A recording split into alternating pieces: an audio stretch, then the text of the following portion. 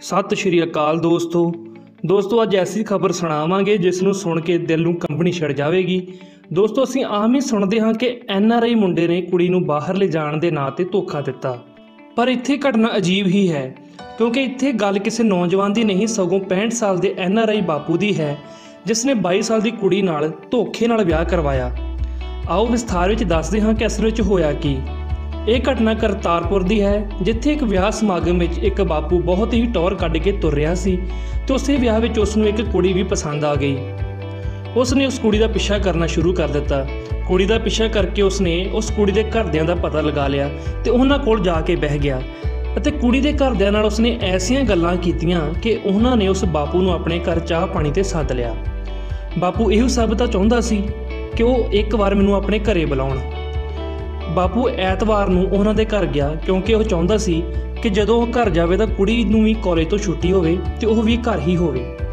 ਬਾਪੂ ਉਹਨਾਂ ਦੇ ਘਰ ਚਲਾ ਗਿਆ। ਉੱਥੇ ਉਸਨੇ ਦੱਸਿਆ ਕਿ ਉਹ ਕੈਨੇਡਾ ਵਿੱਚ ਪੱਕੇ ਤੌਰ ਤੇ ਰਹਿੰਦਾ ਹੈ। ਉਸ ਦੀ ਪੀਆਰ ਹੈ ਅਤੇ ਉਸਨੇ ਇਹ ਵੀ ਦੱਸਿਆ ਕਿ ਉਸ ਦੀ ਕਰੋੜਾਂ ਅਰਬਾਂ ਦੀ ਪ੍ਰਾਪਰਟੀ ਹੈ ਤੇ 100 ਟਰਾਲੇ ਵੀ ਚੱਲਦੇ ਹਨ।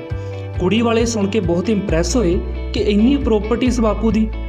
ਬਾਪੂ ਨੇ ਫਿਰ ਆਪਣੀ ਅਸਲੀ ਚਾਲ ਚੱਲੀ, ਜਿਸ ਕਰਕੇ ਉਹ ਕੁੜੀ ਵਾਲਿਆਂ ਦੇ ਘਰ ਆਇਆ ਸੀ ਤੇ ਕੁੜੀ ਵਾਲੇ ਉਸ ਦੀ ਚਾਲ ਵਿੱਚ ਫਸ ਗਏ। ਬਾਪੂ ਕਹਿੰਦਾ ਕਿ ਮੇਰੇ ਕੋਲ ਕਰੋੜਾਂ ਅਰਬਾਂ ਦੀ ਜਾਇਦਾਦ ਹੈ ਤੇ ਮੇਰੀ ਘਰਵਾਲੀ ਵੀ ਮਰ ਚੁੱਕੀ ਹੈ ਤੇ ਮੇਰੀ ਇੰਨੀ ਸਾਰੀ ਜਾਇਦਾਦ ਦਾ ਮੇਰੇ ਮਰਨ ਪਿੱਛੋਂ ਕੋਈ ਵਾਲੀ ਵਾਰਸ ਨਹੀਂ ਹੋਵੇਗਾ। ਉਸ ਨੇ ਇਹ ਜ਼ਾਹਿਰ ਕੀਤਾ ਕਿ ਮੈਂ ਵਿਆਹ ਕਰਨਾ ਚਾਹੁੰਦਾ ਹਾਂ ਕਿਸੇ ਨਾਲ ਤਾਂ ਕਿ ਉਹ ਆਪਣੀ ਸਾਰੀ ਜਾਇਦਾਦ ਉਸ ਕੁੜੀ ਦੇ ਨਾਮ ਕਰ ਸਕੇ ਜੋ ਉਸ ਨਾਲ ਵਿਆਹ ਕਰਵਾਵੇਗੀ। ਕੁੜੀ ਵਾਲੇ ਨੇ ਸੋਚਿਆ ਕਿ ਇਸ ਦੀ ਤਾਂ ਬਹੁਤ ਜਾਇਦਾਦ ਹੈ ਤੇ ਇਸ ਨੂੰ ਵਾਲੀ ਵਾਰਸ ਦੀ ਵੀ ਲੋੜ ਹੈ ਤੇ ਕਿਉਂ ਨਾ ਅਸੀਂ ਇਸ ਦਾ ਰਿਸ਼ਤਾ ਆਪਣੀ ਹੀ ਕੁੜੀ ਨਾਲ ਕਰ ਦਈਏ। ਉਹਨਾਂ ਸੋਚਿਆ ਕਿ ਕੁੜੀ ਦਾ ਰਿਸ਼ਤਾ ਬਾਪੂ ਨਾਲ ਕਰਨ ਤੋਂ ਬਾਅਦ ਕੁੜੀ ਅਰਬਾਂ ਦੀ ਮਾਲਕ ਹੋ ਜਾਵੇਗੀ ਤੇ ਅਸੀਂ ਵੀ ਸਾਰੇ ਕੈਨੇਡਾ ਚਲੇ ਜਾਵਾਂਗੇ ਤੇ ਸਾਡੀ ਜ਼ਿੰਦਗੀ ਬਦਲ ਜਾਵੇਗੀ। ਮੈਂ ਇੱਥੇ ਦੱਸ ਦੇਵਾਂ ਦੋਸਤੋ ਕਿ ਕੁੜੀ ਦੀ ਉਮਰ ਸਿਰਫ 22 ਸਾਲ ਹੈ ਤੇ ਬਾਪੂ ਦੀ 65 ਸਾਲ। ਇਹ ਸਭ ਦੇ ਚੱਲਦਿਆਂ ਕੁੜੀ ਦਾ ਬਾਪੂ ਨਾਲ ਵਿਆਹ ਕਰਵਾ ਦਿੱਤਾ ਗਿਆ ਹੈ।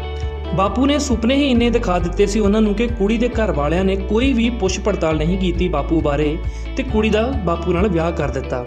ਵਿਆਹ ਨੂੰ ਜਦੋਂ 15 ਦਿਨ ਹੋ ਗਏ ਤਾਂ ਇੱਕ ਐਸਾ ਸੱਚ ਸਾਹਮਣੇ ਆਇਆ ਜਿਸ ਨੂੰ ਸੁਣ ਕੇ ਹਰ ਪੰਜਾਬੀ ਦਾ ਦਿਲ ਖੌਫ ਨਾਲ ਡੋਲ ਜਾਵੇਗਾ। ਵਿਆਹ ਤੋਂ ਬਾਅਦ ਉਹਨਾਂ ਨੂੰ ਪਤਾ ਕੀ ਚੱਲਦਾ ਹੈ ਕਿ ਉਹ ਬਾਪੂ ਜੋ ਕੈਨੇਡਾ ਦਾ ਪੀਆਰ ਦੱਸਦਾ ਹੈ, ਜਿਸ ਕੋਲ ਅਰਬਾਂ ਦੀ ਜਾਇਦਾਦ ਹੈ ਉਸ ਨੇ ਸਭ ਝੂਠ ਬੋਲਿਆ ਸੀ। ਕੈਨੇਡਾ ਦੀ ਪੀਆਰ ਤਾਂ ਛੱਡੋ, ਉਸਨੇ ਕੈਨੇਡਾ ਨੂੰ ਕਦੇ ਨਕਸ਼ੇ ਵਿੱਚ ਵੀ ਨਹੀਂ ਦੇਖਿਆ ਸੀ। ਉਸਨੇ ਸਭ ਝੂਠ ਬੋਲਿਆ, ਪਰ ਜਦੋਂ ਤੱਕ ਕੁੜੀ ਵਾਲਿਆਂ ਨੂੰ ਇਹ ਗੱਲ ਦਾ ਪਤਾ ਲੱਗਾ, ਤਾਂ ਬਹੁਤ ਦੇਰ ਹੋ ਚੁੱਕੀ ਸੀ ਤੇ ਕੁੜੀ ਦੀ ਜ਼ਿੰਦਗੀ ਨਾਲ ਖੇਡਣ ਵਾਲਾ ਬਾਬੂ ਝੂਠ ਬੋਲ ਕੇ ਕੁੜੀ ਨਾਲ ਵਿਆਹ ਕਰਵਾਉਣ ਵਿੱਚ ਸਫਲ ਹੋ ਗਿਆ ਸੀ। ਇੱਕ ਕੈਨੇਡਾ ਜਾਣ ਦੇ ਲਾਲਚ ਨੇ 65 ਸਾਲ ਦੇ ਬਾਪੂ ਨੂੰ 22 ਸਾਲ ਦੀ ਕੁੜੀ ਦੀ ਜ਼ਿੰਦਗੀ ਬਰਬਾਦ ਕਰਨ ਦਾ ਮੌਕਾ ਦੇ ਦਿੱਤਾ। ਸਾਡੇ ਪੰਜਾਬ ਵਿੱਚ ਦੋਸਤੋ, ਐਸੀਆਂ ਕਿੰਨੀਆਂ ਧੀਆਂ ਬੇਟੀਆਂ ਹਨ, ਜੋ ਇਸ ਝੂਠ ਦੀ ਬਲੀ ਚੜ ਚੁੱਕੀਆਂ ਹਨ। ਅਜੇ ਵੀ ਸਮਾਂ ਹੈ ਕਿ ਅਸੀਂ ਇਸ ਲਾਲਚ ਵਿੱਚ ਆ ਕੇ ਆਪਣੀ ਧੀਆਂ ਦੀ ਜ਼ਿੰਦਗੀ ਨਾ ਖਰਾਬ ਕਰੀਏ, ਨਾ ਰੋਲੀਏ। ਅਸੀਂ ਅਜੇ ਵੀ ਸਮਝ ਸਕਦੇ ਹਾਂ। ਦੋਸਤੋ, ਇਸ ਵੀਡੀਓ ਨੂੰ ਵੱਧ ਤੋਂ ਵੱਧ ਸ਼ੇਅਰ ਕਰਨਾ ਤਾਂ ਜੋ ਹੋਰ ਕਿਸੇ ਕੁੜੀ ਦੀ ਇਸ ਤਰ੍ਹਾਂ ਦੇ ਝੂਠ ਵਿੱਚ ਫਸ ਕੇ ਜ਼ਿੰਦਗੀ ਬਰਬਾਦ ਨਾ ਹੋਵੇ। ਇਹ ਚੈਨਲ ਵੀ ਤੁਹਾਡਾ ਆਪਣਾ ਹੈ। ਸਬਸਕ੍ਰਾਈਬ ਜਰੂਰ ਕਰ ਦੇਣਾ ਜੀ। ਧੰਨਵਾਦ।